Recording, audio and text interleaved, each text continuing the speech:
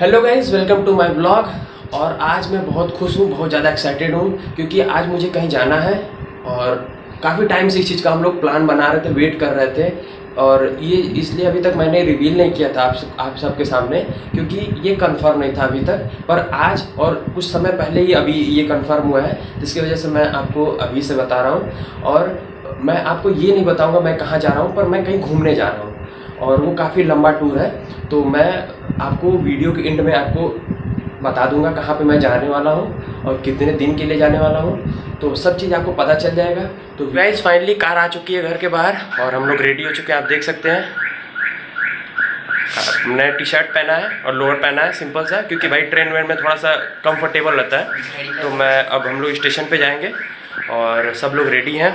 अब हम हम लोग जाएँगे वहाँ पे और आपको मिलते हैं ट्रेन में तो बाय फाइनली मैं आ चुका हूँ यहाँ पे, और आप देख सकते हैं, ट्रेन के अंदर बैठ चुका हूँ, और ये रही ट्रेन के बाहर का व्यू है, और ये ये ट्रेन हमारी, अच्छी है थर्ड एसी है तो काफ़ी अच्छा लग रहा है। देख सकते हैं अगल बगल सीट भी अच्छी है, आपको बैक कैमरे में दिखाता हूँ। तो गाइज़ ये ट्रेन हमारी, जिसमें हम लोग जा रहे हैं ट्रैवल कर रहे हैं। तो गाइज़ हम आपको बताना, बता देना चाहता हूँ कि मैं जा रहा हूँ मुंबई, अपने नानी के यहाँ घूमने।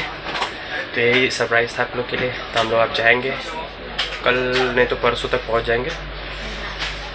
तो बस, इस समय दोपहर के शाम के साढ़े तीन बज रहा है। तो तीन पचास की हमारी ट्रेन है। तो हम लोग यहाँ से निकल जाएँगे और परसों हम लोग रात तक पहुँच जाएँगे। तो फाइनली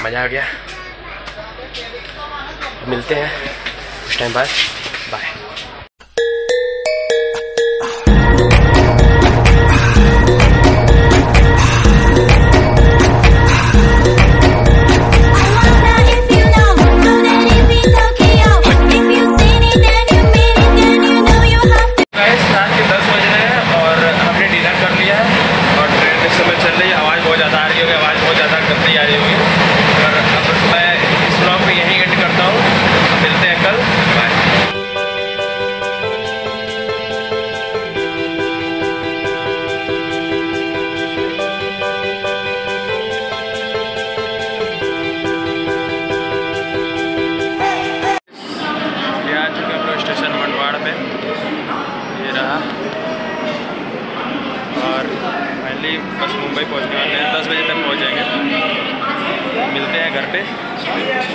पहुँचने के बाद मिलते हैं।